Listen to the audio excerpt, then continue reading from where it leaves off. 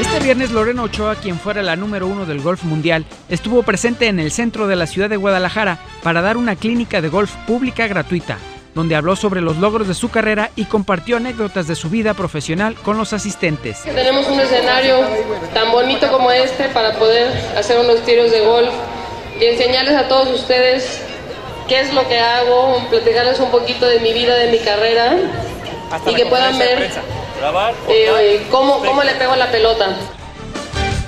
La plataforma de golf, donde continuarán impartiendo las clínicas, estará abierta durante todo el fin de semana y habrá instructores especializados para que todas las personas aprendan y practiquen de los principios básicos del golf. Fue un día único, no un día para mí y para el golf, pues histórico el poder practicar, eh, hacer algunos tiros aquí en el centro, ¿no? atrás del Teatro de Gollado, en esta plaza tan bonita. Yo creo que la respuesta de la gente fue muy buena, vimos que estaba lleno y que, todos reaccionaron muy bien, eso me da mucho gusto.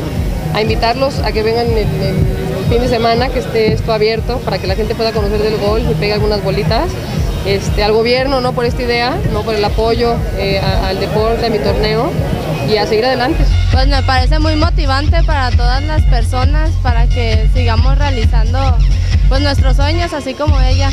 pues perfecto, la verdad que es una persona muy sencilla y muy humilde a pesar de que es la, fue la campeona del mundo. O sea, realmente no tiene precio, pues qué bueno por el ayuntamiento que nos hace, nos acerca a este tipo de, de deportistas y hay que alabarles, pues, primeramente ella que nos cede su tiempo.